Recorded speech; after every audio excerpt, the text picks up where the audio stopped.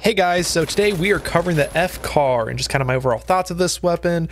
To break down its recoil, the damage profile, where does it stand in the mediums, artillery. So let's let's get into it and starting off, you know, in the training grounds, you can kind of see how I struggle a little bit with the recoil. Now I don't use this gun very much. I kind of prefer the AKM overall, but I can definitely see why people like this gun if you can hold down that first initial, I think it's like five rounds or so of that recoil, after that it's a laser. I mean, you're wiping people with this gun, and I can definitely see why they've been kind of making changes to this gun a little bit to get people to use other guns. But yeah, you know, that's kind of my overall thoughts currently is that this is still probably the number one gun to use for the medium.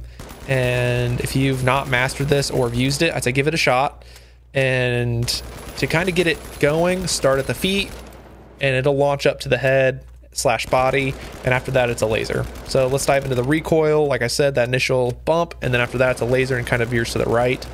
As for the hip fire stuff follows the same pattern a little bit goes up but now the key point here is if you're crouching and doing it it's a really tight hip fire which i don't think a lot of people crouch in hip fire so give that a shot with this gun, and I think you'll uh, you'll enjoy it quite a bit. Getting into the damage side of things, it does have a fall off, and that starts at 36, and then the max's damage is like 40 meters. So once you get to that max of 40 meters out, you lose 55% of your damage.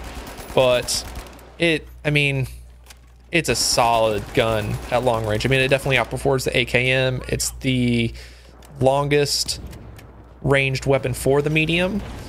And that, that I mean that that's how most players play anyways. There is some up close stuff and that's going to be the downside to this gun is that its mag is small and up close this gun is not going to outperform a shotgun, the revolver, and even maybe even the grenade launcher for that matter, but this gun, great choice. I recommend it. It's still probably in the number one spot for use by the medium, and it's probably still the number one used gun in ranked, in my opinion. I'd be surprised if it's changed to something else now. The grenade launcher is starting to get a little bit more use just because of the versatility of being able to just keep launching grenades into a room. But this gun, this gun slaps. I'd recommend it. Give it a shot. Now, if you don't like that recoil pattern, give the AKM a shot. It has a little bit smoother recoil, in my opinion. I that's why I kind of lean more toward the a- AKM versus the FCAR, but if you want to deal a little more damage and definitely at longer ranges, give the FCAR a shot. You you will you'll enjoy it. And I think it even for console players, this gun is really good at beaming. And so that's just kind of my overall thoughts of this gun. You know, let me know what you guys think for the best weapon for the medium. What do you guys use? What do you guys like using?